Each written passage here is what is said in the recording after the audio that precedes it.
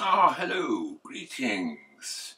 Getting towards the end of January, so it's time for me to reveal some of the highlights for February for subscribers and members. Now, for subscribers, if you've got a new camera, perhaps this might be a good time to suggest one or two places for you to go and photograph. How about the Peak District? Magic of the Peak District. That's coming up in February for members. Or how about a photographic walk? Take you down to Sussex, to the South Downs, to look at the Halnaker Windmill and also Boxgrove Priory.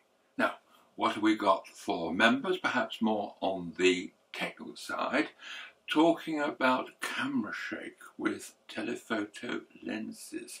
Yes, that can be a problem if you don't control the shutter speeds. Otherwise, you might get an unsharp picture.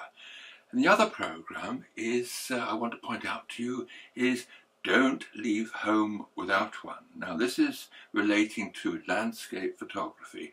Don't leave home without one. Well, what is that? Then you better look at the programme, hadn't you?